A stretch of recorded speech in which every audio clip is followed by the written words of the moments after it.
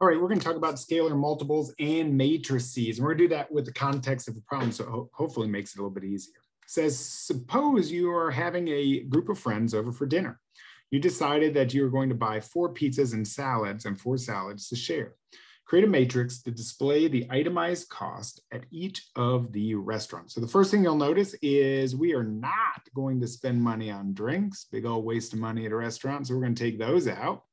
And what we're going to do is we're going to build a matrix just for the pizzas at each one of the restaurants. So I'm going to eliminate drinks and you'll see that this is going to start coming in here by its organized restaurant. So let's do that. Now, the one thing that you're going to pay attention to or hopefully see is that you want four of each of them, which essentially is going to take all of these costs and just simply quadruple the costs, meaning we are going to multiply everything by four. And the way we show that is we just put that four right out in the front. We say we are going to multiply it. And that is how we write a scalar multiple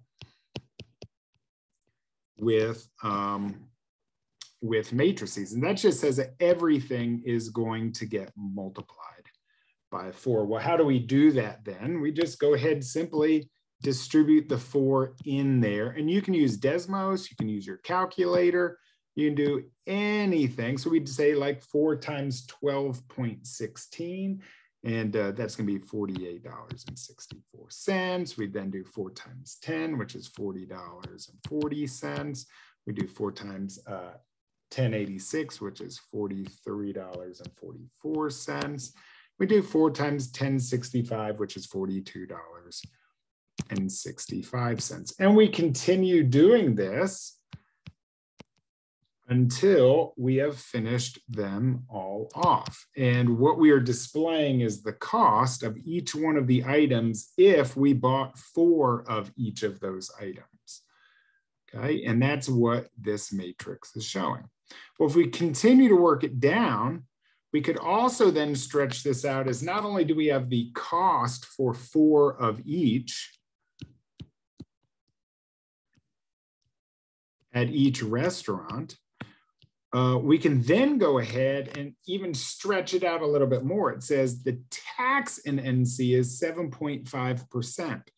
Write a statement using a scalar multiple that will show the itemized cost of each of the items. So not only do we want the cost, we want to go ahead and make sure we know that um, we are going to be adding tax to them. So we could say, okay, well, let's get down here and bring in all of our costs per four pizzas and four uh, salads. We can now add tax to it. Okay, so what do we do if we're going to add tax to this? We are going to use a scalar multiple because tax is going to apply to each and every item. And if we know in North Carolina it's 7.5% tax, we're going to go ahead and change that 7.5% to a decimal. So that is 0.075. And remember, tax is adding or making it grow. So it's going to be a growth rate. Okay, and so what I'm going to do is I'm going to put it in front of it. I'm to say 1.075 and multiply by 1.075 to make it grow. And now what we're going to do is we are going to multiply our new scalar multiple on each one of these is going to be 1.75. I'm going to leave it up to you. You're going to go into Desmos or your calculator, and now you're going to multiply everything by 1.075 to increase each one of those items by the tax rate of 7.5% in North Carolina.